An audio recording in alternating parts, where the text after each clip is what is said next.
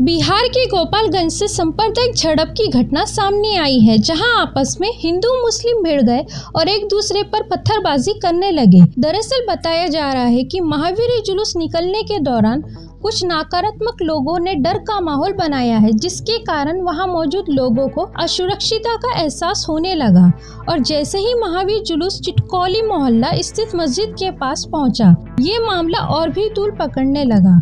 दो समुदाय के बीच हुई इस झड़प में मस्जिद की ऊपरी मंजिल से कुछ लोग और जुलूस में मौजूद कुछ लोगों ने एक दूसरे पर पत्थर फेंके। घटना में दोनों समुदाय के कुछ लोग जख्मी हुए हैं। मामले की जानकारी होने पर पुलिस बल फ़ौरन घटना स्थल पर दौड़ पड़ी। S D P O C I S H O द्वारा घटना स्थल पर पहुंचकर जुलूस को शांतिपूर्ण तरीके से संपन्न कराया गया। पुलिस ने बताया है कि घटना के बाद शीघ्र ही स्थिति पर नियंत्रण कर लिया गया है। ड्रोन और अन्य माध्यमों से प्राप्त वीडियो और फुटेज के आधार पर आरोपियों की चिन्हित किया जा रहा है। आवश्यक कानूनी कार्रवाई की जाएगी, आरोपियों पर पुलिस का कहना है। घटना स्थल पर एहतियात के तौर पर तीन शिफ्ट में पुलिस बल पदाधिकारी, दंडाधिकारी की प्रतिनियुक्त की गई है। स्थिति शांतिपूर्ण है। हालाँकि इस मामले में एक नया मोड़ आ गया है। एक वायरल वीडियो में एक पुलिस अधिकारी द्वारा जुलूस के माइक से ही धार्मिक नारे लगाए जा रहे हैं। स्थानीय प्रशासन ने इसका भी संज्ञान लिया है और कहा है कि हम आगे की जाँच कर रहे हैं।